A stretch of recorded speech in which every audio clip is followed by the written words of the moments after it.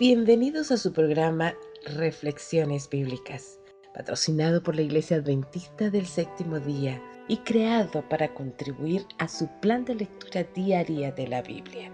Con ustedes, el pastor Orlando Rosales. Efesios capítulo 1 Después de apelar a César, haciendo uso de su derecho como ciudadano romano, Pablo fue enviado a Roma donde probablemente llegó durante la primavera del año 61 después de Cristo. Allí estuvo preso dos años. Por lo tanto, es probable que esta parábola fuera escrita en el año 62 después de Cristo. Mientras estaba preso, aparentemente disfrutó de ciertas libertades, las que le dieron la oportunidad de reflexionar y de escribir. El apóstol aprovechó esta situación y envió muchas instrucciones doctrinales y prácticas a las iglesias de Asia.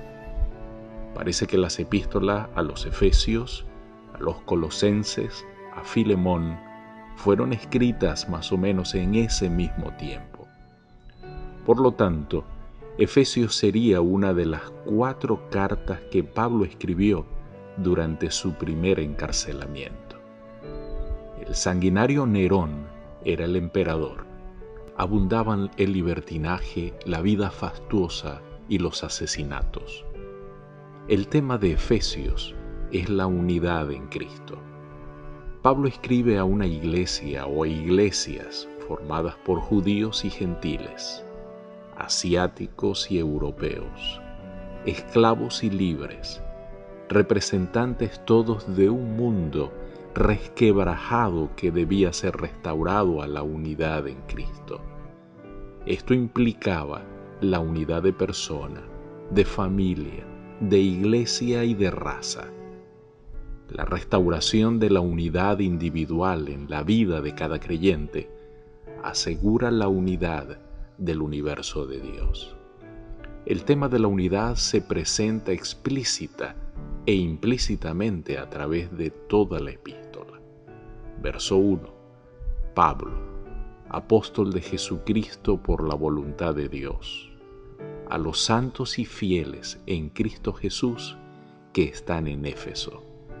Pablo no estaba tratando de aumentar su autoridad personal, sino de expresar un claro sentido de vocación y obligación versos 4 y 5, según nos escogió en Él antes de la fundación del mundo, para que fuésemos santos y sin mancha delante de Él. En amor, habiéndonos predestinado para ser adoptados hijos suyos por medio de Jesucristo, según el puro afecto de su voluntad. Es cierto que estos versículos se refieren a la predestinación o designación de ciertos elegidos desde antes de la fundación del mundo para ser adoptados como hijos de Dios. Pero nada dice respecto a elegidos para perdición. También se llama nosotros a los elegidos, es decir, a los cristianos que por la fe han aceptado al Señor Jesucristo cuando se trazó el plan de salvación antes de la fundación del mundo, se decidió que quienes se ajustaran a las condiciones de dicho plan serían considerados nuevamente como hijos de Dios.